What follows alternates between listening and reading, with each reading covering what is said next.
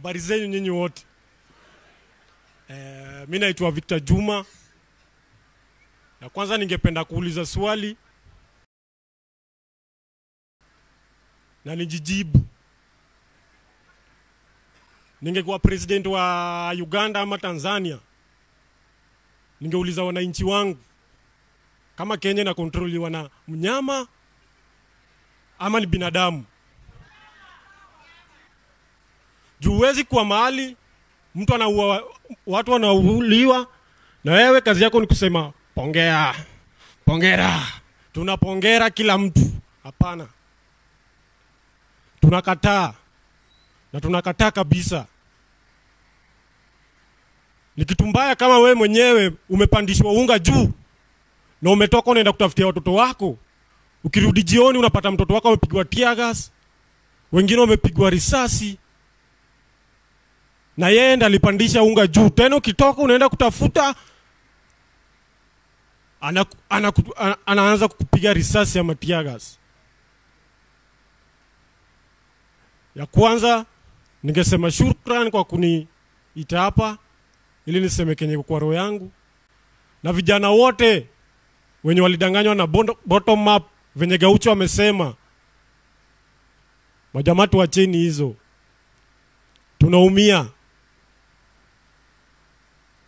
Watu wengi wamepigwa risasi, nikiona. Mtoto wangu aliumizwa, nikiona. Ilinikasirisha sana, ikabidi nijitokeze. Inafanya hadi sahii nikiona media hivi naogopa juu media jo, mtu anajifanya media alafu baadaye anakuja na kushika. Inafanya nimepitia mengi, unapigwa hiyo seli yenye Gaucho anasema imetuzoea, yenyewe ilinizoea. Hauna mali pa kulala juu umegongwa, ukijaribu kulala hivi, hii yote ni mbaya. Ukilala hivi, hii yote ni mbaya. Ukisimama mguu inakuuma, unashindwa utafanya nini? Sasa tungependa tukusema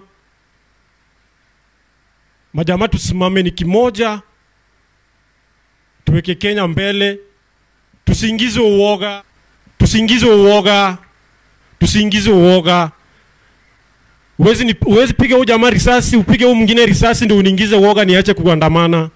Unaona, mimi sikuwa naandamana, lakini sasa imebidi baba akisema to go, natoka hata kama mguu yangu imevunjika. Kwanza napata nguvu, natoka. Sasa ningesema shukran kwa wote wamekam, na tunatuma pole zetu kwa watu wote wamepoteza familia zao, wenye wamepoteza watu wao na wenye waliumia, wenye wanaugua, tunaomba wapone. Asanteni.